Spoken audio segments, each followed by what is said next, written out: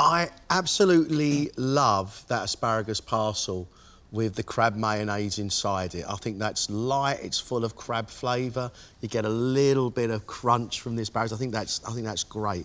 I think your bisque, it's a heady concoction. It's real deep and it's almost got a sweetness to it. It's so good. I can't remember tasting a better bisque than that. I honestly can't. 44-year-old Gary has been lecturing at a college in Glasgow for 15 years. I really feel I have got better. You can teach an old dog new tricks. I think that's really um, one of the reasons why I'm still in the competition. Gary, you did it! Yay! it's mad, isn't it? Are you, are you happy? Uh, yeah, yeah. Um, I should be teaching a class right now. That's how mad this is. W what an experience. I'm absolutely buzzing, absolutely buzzing. I'm just going to really work hard to try and stay in the competition. Gary's opted to use a beautiful crab in his dish, and it's all about this wonderful ingredient. He's taken the white crab meat and he's, he's bound it with mayonnaise and mustard. And he's shaved strips of asparagus, he's blanched them, and he's weaving them like plaits into a beautiful basket. He's going to put his crab meat down the centre and fold it over. He's also got a bisque that he's made from the crab shells as well. I love the different elements that Gary has on this dish. I just wonder how this is all going to come together to make one uniform dish. 27-year-old sous chef Brenton impressed early on with an exceptional lamb signature dish. I think I'm developing a bit. I'm getting to have my creative juices going constantly at the moment. And I'm disagreeing with myself, agreeing with myself, uh, having arguments in my own head, and yeah, I'm developing as far as uh, being able to come up with better dishes. Brenton is using the pigeon for his main course. It's going to be cooked wonderfully. It's still pink. He needs to rest it. We don't want this bleeding on the plate. Bringing flavours of ratatouille and a beautiful sauce just to round it all off.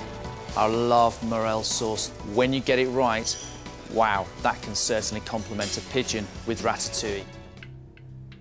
Brenton's dish is pan-fried pigeon breast and leg with ratatouille Romano pepper puree, tomatoes infused with garlic and sherry vinegar, finished with a morel sauce. This plate is full of sunshine. Big colour, lovely presentation.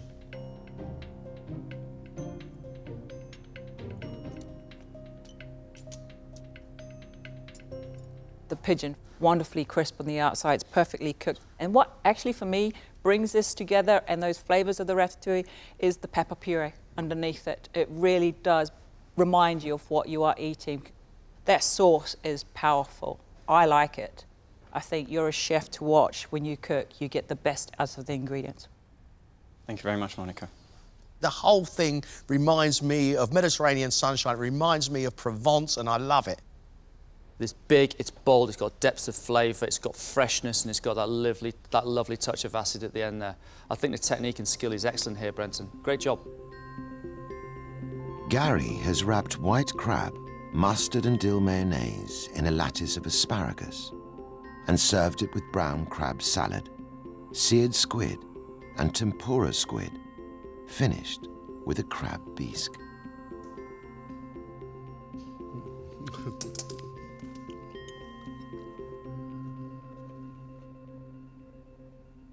I absolutely love that asparagus parcel with the crab mayonnaise inside it. I think that's light, it's full of crab flavour.